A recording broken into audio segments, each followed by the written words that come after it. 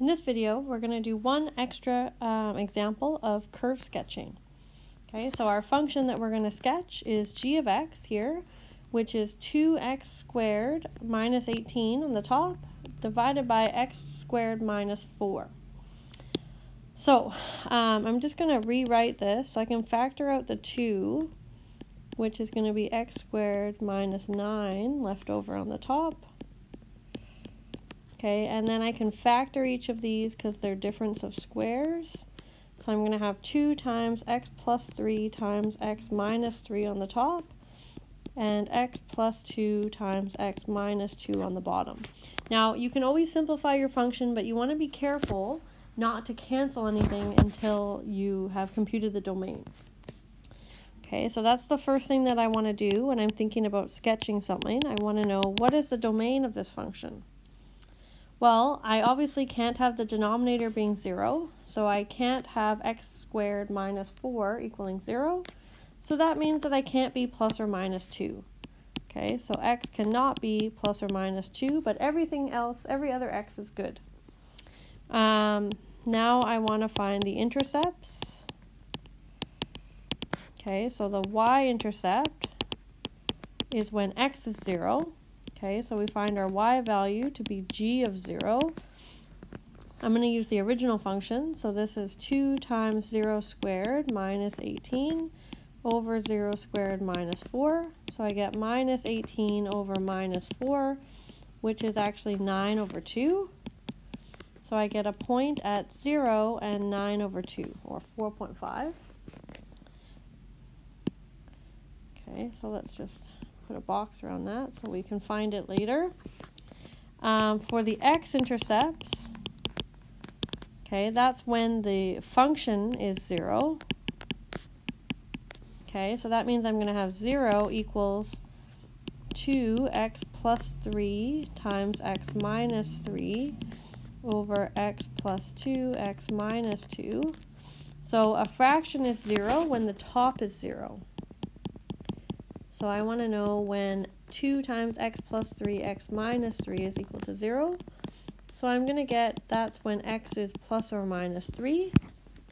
So we get points um, negative 3, 0, and 3, 0. Okay, so those are our x-intercepts.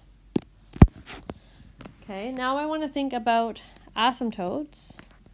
So I'm going to start with vertical asymptotes.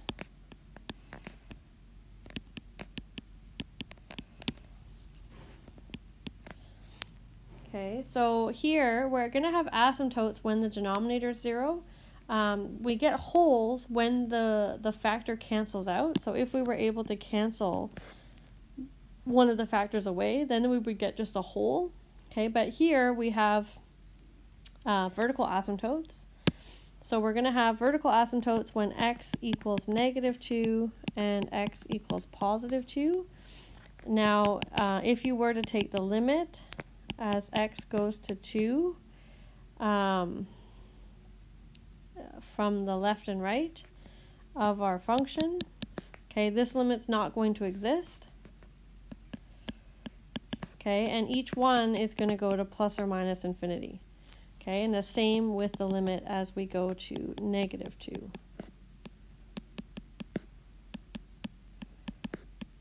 Okay, so you're going to get some type of infinity there.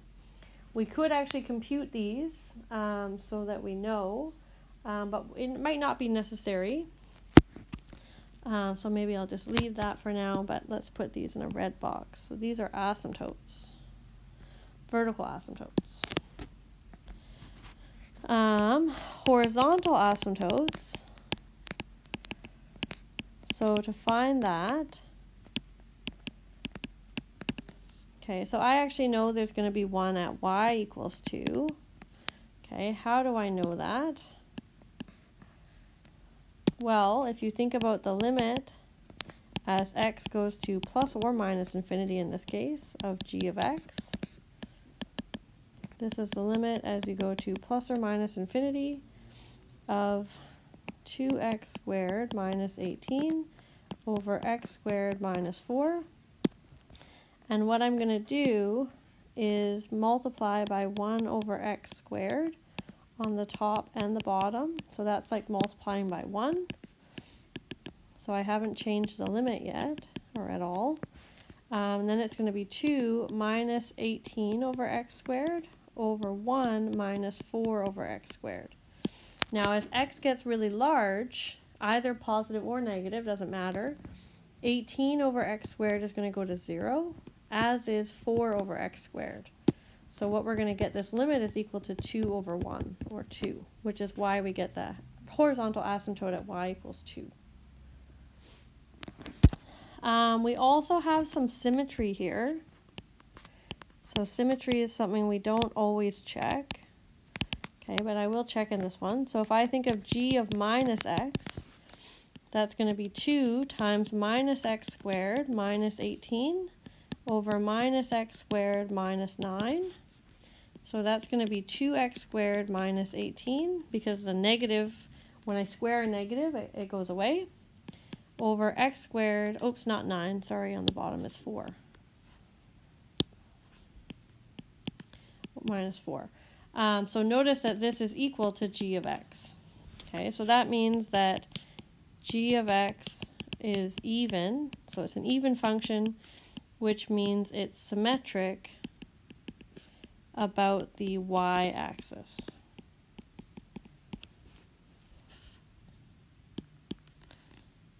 Okay, so maybe I'll put that in a blue box so we know it's symmetric about the y-axis.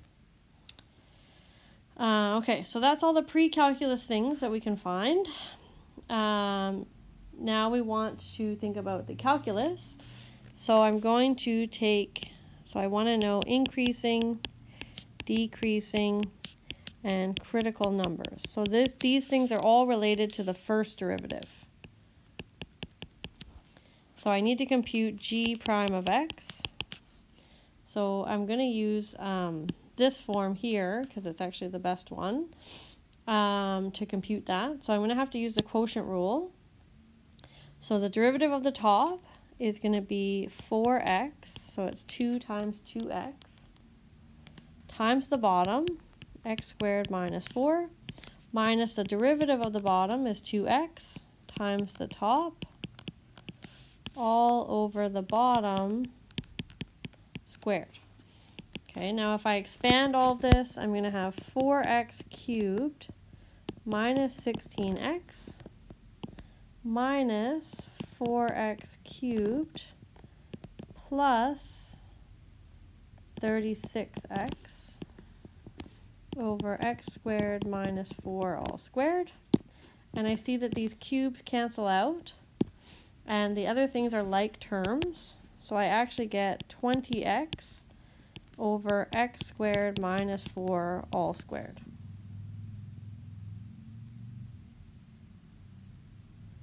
Okay, so that's my derivative. So where is the derivative equal to 0? Okay, that's when the top is 0, which is going to be when x is 0. Okay, so that's a critical number because it's in the domain. And now I want to think, okay, where is the derivative? Where does the derivative not exist? So that's going to be when the bottom is 0, which we know is when x is plus or minus 2. Okay, but those are not in the domain. Okay, so these are not critical numbers. Okay, since they're not in the domain. Okay, but the increasing, decreasing can still change at those points, so we are going to put them on our number line. Okay, so we'll do our number line here. So I'm going to have negative 2 is the first place it can change, and then 0, and then 2, and I have to check a point in each interval. So let's say I check negative 3. So the derivative is going to be 20 times negative 3, and in fact, the bottom is always uh, positive because it's something squared. So I'm actually just going to write it as positive to save a bit of time. So this is going to be a negative over a positive. So I'm going to get a negative. So I'm going to be decreasing on this interval. Okay, let's just write this doesn't exist and this doesn't exist, so we don't forget that those are not in the domain. Okay, then what if I do negative 1? I'm going to have 20 times negative 1 over something that's positive. So again, I get a negative, so I'm still decreasing there. Now if I do 1, I'm going to have 20 times 1 over a positive. So that's a positive over a positive. So in this interval, I'm going to be increasing. And if I pick, say, 3, I have 20 times 3 over a positive. Again, it's a positive, so I'm still increasing. So we see the only place where we have a critical number, okay, is at 0, and it looks like it's going to be a relative minimum. Okay, so we have a relative min, and because we it's at 0, um, the x value, we already know the point is 0, 9 over 2 right? Because remember that was the um, y-intercept. Okay, so we have that relative min value. Um, so, okay, so we're done all of the first derivative stuff. Um, we know that it's going to be decreasing until 0 and then increasing after 0. So now we want to think of the concavity concavity, and the points of inflection. So these are all to do with the second derivative. So that means we need to compute the second derivative. So I want to, where's my first derivative here? Okay, so I'm going to do second derivative. So I'm using this uh, most simplified version of our derivative. Again, I need to use the quotient rule. Okay, so the derivative of the top is 20 times the bottom minus the derivative of the bottom, where I need to use the chain rule here. So it's 2x squared minus 4 squared, or not squared, sorry, to the power 1, times the derivative of the inside, which is 2x, and then times the top, which is 20x. And then it's all over the bottom, which used to be x squared minus 4 all squared, and then I need to square that again. Okay, so again, I so now I see oops, um, some like terms, so I can pull out. So x minus x squared minus 4 appears in both terms, as does the 20. Okay, so I can take out both of those. So I'm going to have 20 x squared minus 4 to the power 1. And in the first term, I'm going to have one more x squared minus 4 and in the second term, I'm going to have um, 4x squared, it looks like, because I have a 2 and then 2x and then another x. Uh, okay, and this is all over x squared minus 4 to the power 4. So now I can cancel out one of those, so I have 3 left on the bottom. And simplify inside these brackets, so I'm going to have 20 times um, negative 4 minus 3x squared all over x squared minus 4 cubed.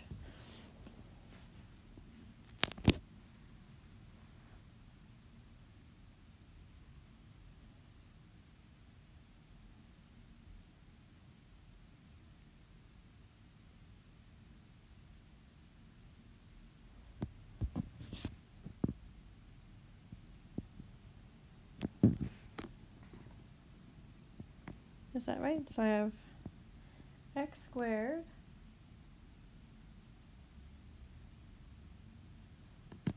Yeah, that looks right. Um, I can actually pull out the negative if I want. So I have negative 20 x squared, sorry, 3x squared. Um, plus 4 over x squared minus 4 all cubed. So I want to do the same thing as we did before. Okay, so where does the second derivative equal to 0? So that's when the top is 0.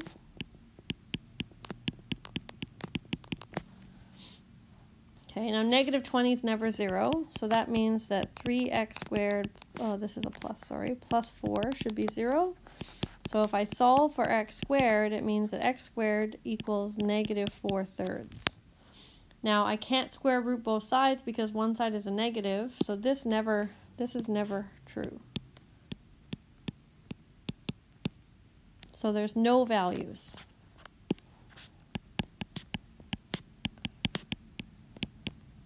No x values make the second derivative equal to 0. Okay, what about where does the second derivative not exist? So that's when the bottom is 0. Oops. X squared minus 4 cubed equals 0. So this is again where x is plus or minus 2. Again, these are not um, possible inflection numbers, okay, since they're not in the domain.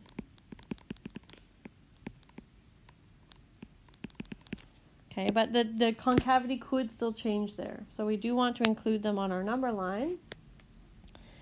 Okay, but those are, so we're not going to have any points of inflection. We know that. Um, so I put negative 2 and positive 2. Okay, again, I'm just going to remind myself that these do not exist. So they're not points of inflection. And now I could check negative 3. If I plug that into the second derivative, I have negative 20 times, um, so it's going to be 27 plus 4 over um, 9 minus 4 cubed. Okay, so that's a negative times a positive over a positive. So this is going to be a negative, which means it's going to be concave down in that interval. Okay, if I plug in 0, I have negative 20 times 0 plus 4 over 0 minus 4 cubed. So here I have a negative over a negative. So that's going to give me a positive. So I'm going to be concave up in that interval. And then if I do something bigger than 3, or bigger than 2, sorry, 3, I have negative 20 times 27 plus 4 over, again, 9 minus 4 cubed. Um, so again, this is going to be negative and concave down. And if we think about it, uh, so it does change concavity, sorry, at negative 2 and 2, but they're not points of inflection.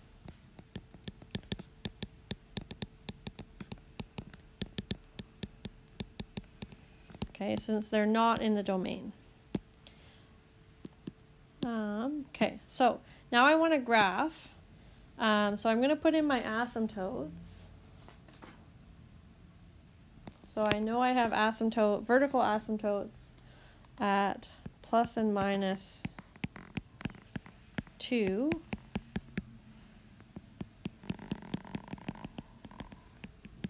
Okay, and I have a horizontal asymptote at positive 2. So this is y equals 2. This is x equals 2, x equals negative 2. Okay, so those are my asymptotes. Now I want to think about the, um, the intervals. Um, so the first one's, it only changes at negative 2 and at 0. Okay, so when I am less than negative 2, we were um, decreasing, okay, and we were concave down. So the shape that we have looks something like that.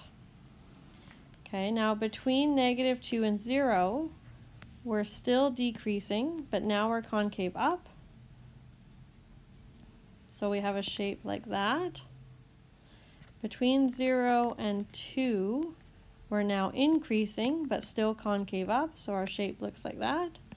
And when we're bigger than negative, or bigger than 2, we're still increasing, but now we're concave down. Our shape's going to look like this. And in fact, the only point, oh no, we have two points that we can, three points we can plot. So we know at 0, we're at 4.5 or 9.5.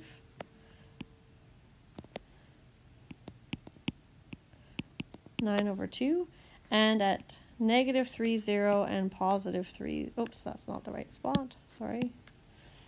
Um, positive 3, 0.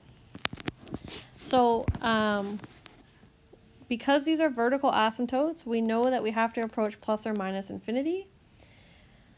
Um, and the shape sort of tells us that this one has to, because it's decreasing, it's going to have to go to negative infinity. And then over here, it definitely approaches this asymptote. So it's going to look like that and see that it's con it's decreasing and also concave down the whole time. Okay, now here, because we're, as we approach zero, x equals zero, we're going to be decreasing towards it. It means that we have to be going to positive infinity as we approach this asymptote from the right down to this point, which is has a slope of zero, and then it's a relative minimum, so we go back up. Okay, um, and then over past x equals 2, we're increasing, so that means that we had to be coming up from negative infinity, approaching this point, um, kind of concave down way, and then we're going to approach this asymptote as x gets large. So that's what our graph is going to look like. Um, so we have a, um, switch colors here. So this point here is our only extreme of value. And remember, it was a relative uh, minimum. Minimum. Okay, and it has derivative 0, so it's not a sharp turn. It's a nice, smooth, rounded, rounded edge. So that's what the graph of g of x looks like here.